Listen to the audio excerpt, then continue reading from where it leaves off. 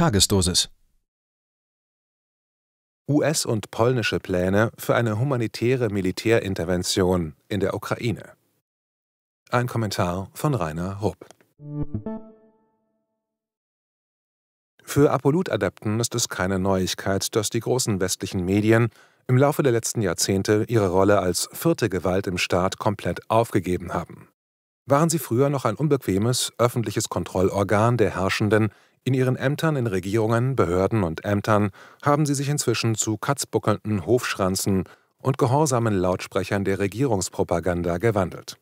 Aber das amerikanische Sprichwort gilt auch in diesem Fall.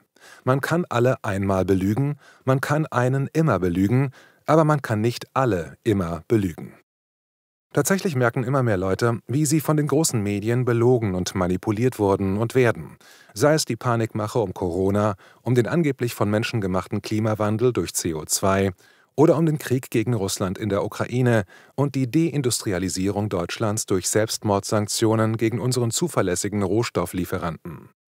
Je erfolgreicher die Panikmache, desto profitabler wird es für Eliten, die dadurch der schockgelähmten Masse der arbeitenden Bevölkerung besser das Fell über die Ohren ziehen können.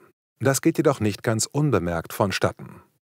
Die großen Medien als Lautsprecher und Propagandaorgan der Mächtigen und ihrer Funktionseliten verlieren zunehmend Abonnenten und damit auch Werbe- und Anzeigeneinnahmen. In ihrer Ratlosigkeit versuchen sie, ihre Glaubwürdigkeit mit dümmlichem Eigenlob und gegenseitiger Lobhudelei als einzigartige Qualitätsmedien wiederzugewinnen.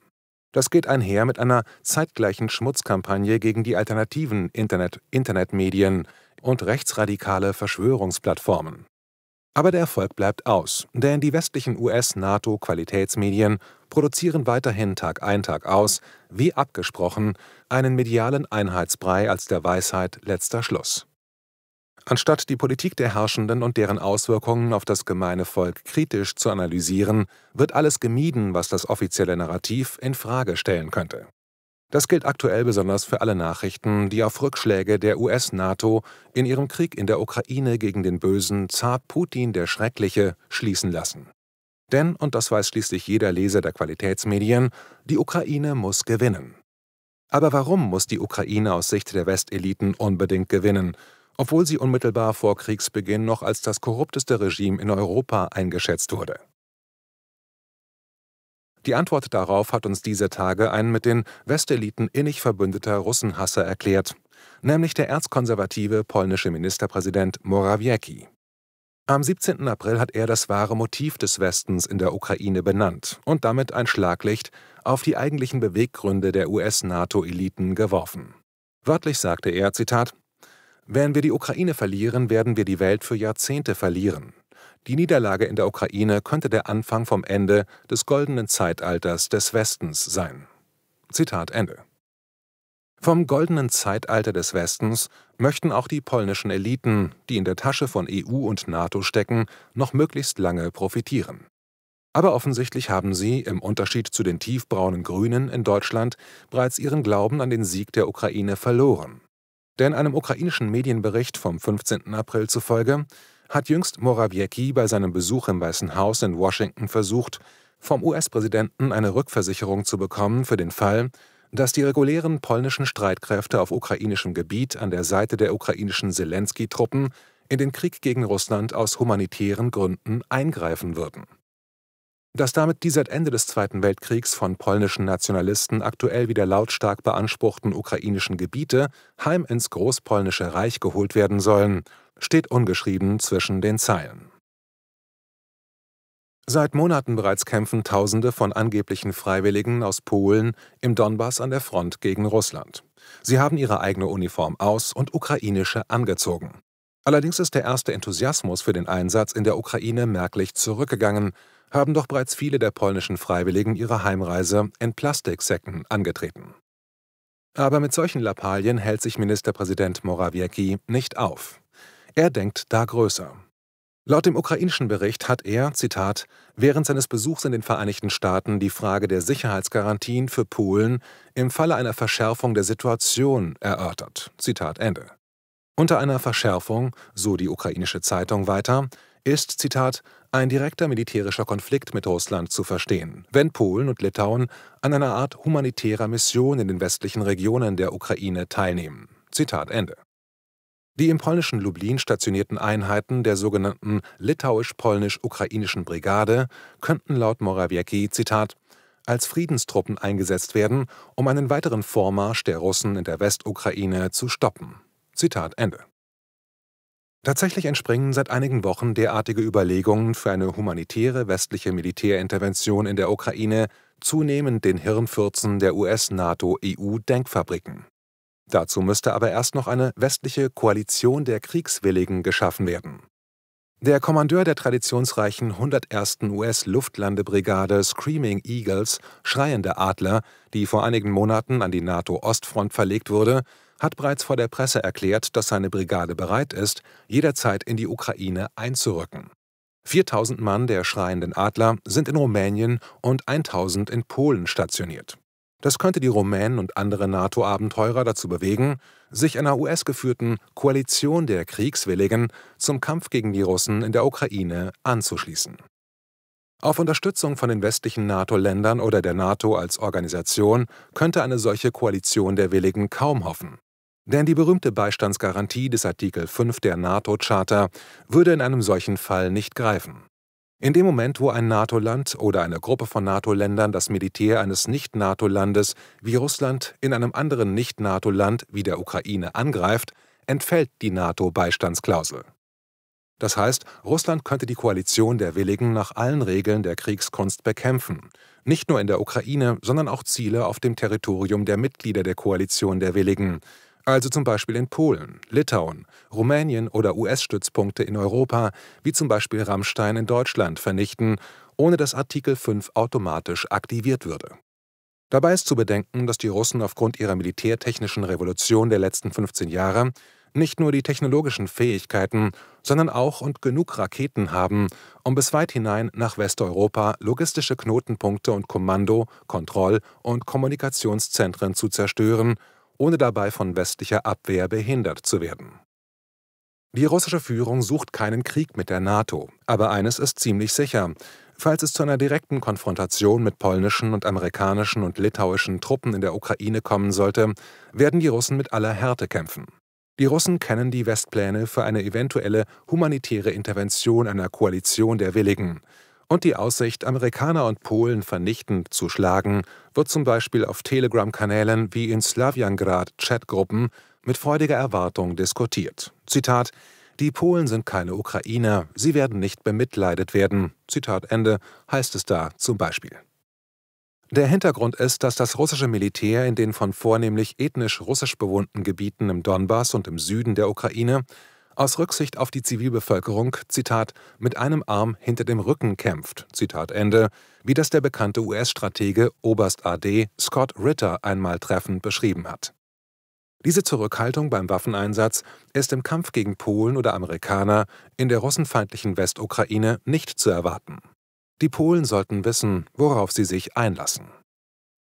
Zugleich kennen die Russen die Beschränkungen des Artikel 5 der NATO-Charta und wissen, dass sie sich deshalb keine Sorgen machen müssen. Es ist im höchsten Grad unwahrscheinlich, dass andere NATO-Länder den wahnsinnigen Polen und Amerikanern in den Abgrund eines großen Krieges hinterherspringen würden.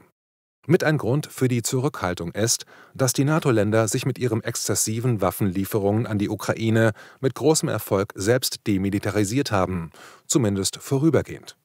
Denn in den NATO-Ländern wird es wegen unterbrochener Lieferketten für Vorprodukte und generell unzureichender Produktionskapazitäten von Munition und modernen Luft- und Panzerabwehrraketen viele Jahre dauern, um die eigenen Vorräte, die für einen Krieg mit Russland zwingend notwendig wären, wieder aufzufüllen. In dem hochintensiven Waffengang hat die ukrainische Armee bereits im vergangenen Jahr die NATO-Vorräte weitgehend verpulvert. Als Beispiel an einem Kriegstag ohne besondere Vorkommnisse hat die russische Armee in den letzten Monaten entlang der 1000 Kilometer langen Front im Tagesdurchschnitt 20.000 Granaten vom Kaliber 155 mm verschossen, während der Tagesverbrauch von 155 mm Munition der Ukrainer seit Beginn des Krieges weit darunter lag, aber inzwischen wegen akutem Mangel an Kanonen und Munition bei plus minus 2000 Schuss pro Tag liegt. Tendenz fallend. Denn die ukrainischen Kanoniere sind inzwischen angewiesen, mit den Granaten sparsam umzugehen und nur noch zu schießen, wenn sie sicher sind, das Ziel auch zu treffen. Mit ihrer absoluten Überlegenheit an Artillerie und Munition haben die Russen nach und nach die seit 2014 mit US-NATO-Hilfe erbauten Befestigungsanlagen entlang der gesamten Front im Donbass zerkleinert und die ukrainischen Besatzungen eine nach der anderen aufgerieben. Exemplarisch steht dafür die Stadt Bachmut, die schon vor Monaten von ukrainischen Soldaten mit dem schrecklichen Begriff Fleischwolf bezeichnet wurde. Obwohl seit mindestens drei Monaten klar war, dass Bachmut militärisch nicht zu halten ist, hat das menschenverachtende Zelensky-Regime immer wieder neue Einheiten mit Tausenden frischer Soldaten in die Schlacht um Bachmut geworfen. Denn Präsident Zelensky persönlich hat Bachmut außerordentliche strategische und politische Bedeutung zugewiesen.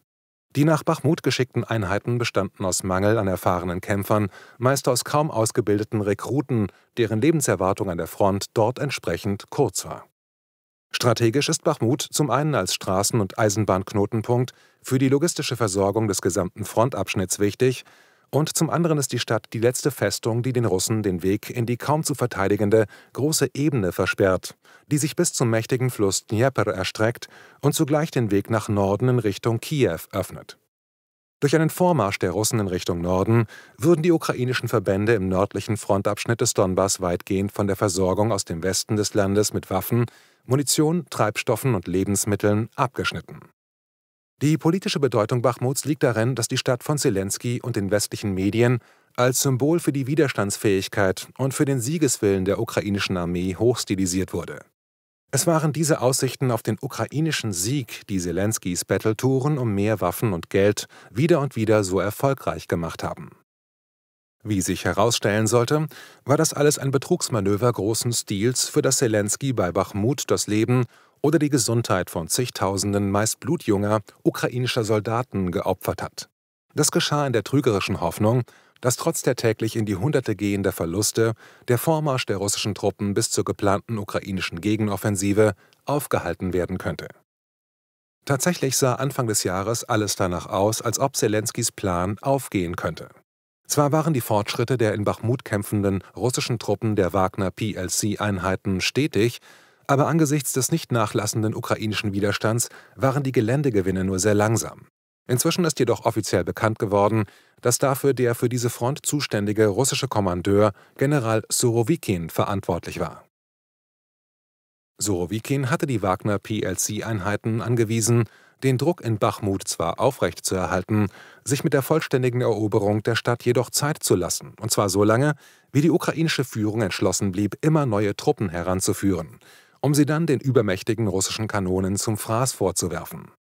Dadurch wurden die ukrainischen Kräfte schwer dezimiert.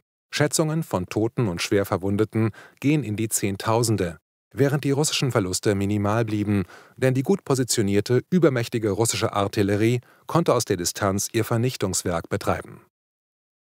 Spätestens mit der Internetveröffentlichung der streng geheimen US-Lageberichte zur Ukraine wurde jedoch klar, dass selbst die US-Militärführung nicht mehr an einen Erfolg der angekündigten ukrainischen Gegenoffensive glaubt, geschweige denn an einen Sieg der Ukraine in den Konflikt. Durch die neuen Entwicklungen wird sich nicht nur der politische Stellenwert von Bachmut ändern, sondern auch Zelensky kann nicht mehr mit seinem Die Ukraine wird siegen hausieren gehen. Es wird Zeit brauchen, sowohl in der ukrainischen Führung als auch im Westen und vor allem in der deutschen Ampelkoalition, bis die neue Realität einsinkt und akzeptiert wird. Ob daraus die richtigen Schlussfolgerungen in Richtung Frieden oder noch mehr Krieg gezogen werden, steht in den Sternen. Bei der immer wieder demonstrierten intellektuellen Unfähigkeit des aktuellen politischen Personals der regierenden Parteien in Berlin muss man mit dem Schlimmsten rechnen. Danke, dass Sie Apolut eingeschaltet haben. Wir sind ein unabhängiges Presseportal. Uns geht es um Meinungsvielfalt, Toleranz und einen möglichst breiten Debattenraum – denn nur so funktioniert Demokratie. Unsere Arbeit ist technisch aufwendig und kostet Geld. Da Sie immer wieder hier sind, unterstützen Sie Apolut am effektivsten mit einem Dauerauftrag. Mehr Infos auf apolut.net/unterstützen. Apolut ist keine Einbahnstraße. Lassen Sie uns in Kontakt bleiben. Abonnieren Sie den Apolut Newsletter, so verpassen Sie nichts. Registrieren Sie sich auf apolut.net/newsletter. Natürlich gibt es Apolut auch als App.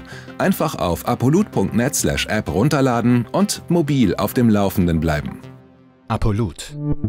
Das denke ich auch.